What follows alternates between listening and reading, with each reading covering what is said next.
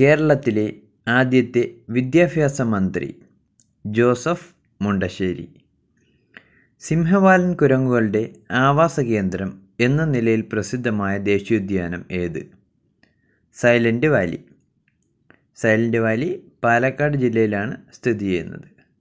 മാർബിളിന്റെ നാട് എന്നറിയപ്പെടുന്ന രാജ്യം ഇറ്റലി. കേരളത്തിലെ ഏതു നദിയിലാണ് ധർമ്മടം ദ്വീപ്? അഞ്ചരക്കണ്ടിപ്പുഴ ആരുടെ തൂലിക നാമമാണ് ചെറുകാട്? സി. ഗോവിന്ദ പിഷാരടി.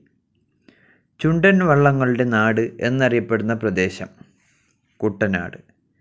കേന്ദ്ര സർക്കാരിന്റെ ആദ്യത്തെ വൃക്ഷമിത്ര പുരസ്കാരത്തിന് അർഹയായത് ആരാണ്? സുഗതകുമാരി. കേരള സർക്കാരിന്റെ സ്വാതി പുരസ്കാരം ആദ്യമായി ലഭിച്ചത് ആർക്കാണ്? ശെമ്മാങ്കുടി ശ്രീനിവാസ അയ്യർ. കേരളം വളരുന്നു. എന്ന കൃതി രചിച്ചത് ആരാണ്? പാല നാരായണൻ നായർ.